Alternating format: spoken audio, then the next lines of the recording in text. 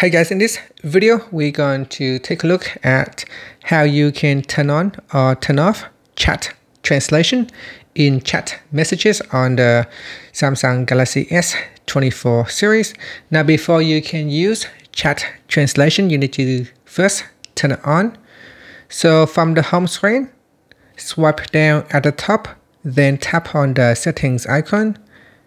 In the settings page, Scroll down and then tap on Advanced Features.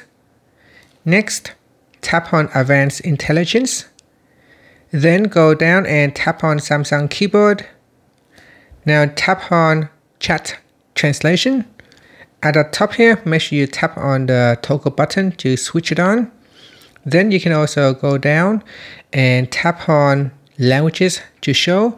So you can show both original and translated text or you can choose translated text only. I'm going to select both uh, the original and translated text. Then in manage apps you can also choose which apps can make use of the chat translation. After that in the language packs for translation tap on that. And in here you can download any language that you want to use. So first download the language pack so that you can use it for translation later on. Finally you can tap on the home button to return back to the home screen.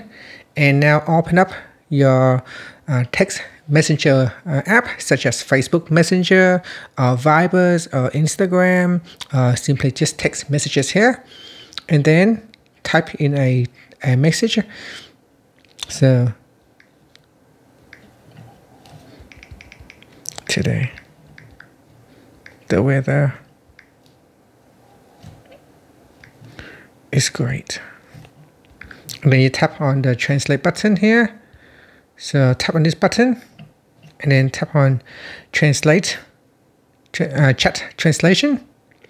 And then at the top here, um, it shows uh, which language you want to choose. So you can select chat translation and then from here you can choose to translate from English to another language or from uh, Italian to another language. So select the language that you want to translate to.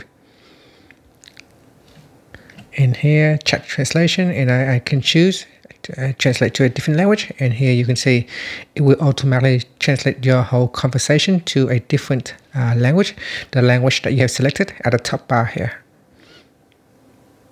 And uh, uh, after a few moments you can see this bar here will collapse to the side and you can always expand it or open it by simply tapping on that uh, that bar on the right hand side.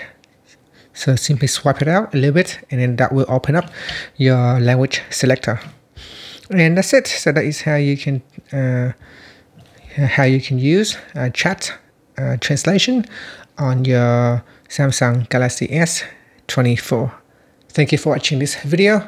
Don't forget to like and subscribe to my channel for more videos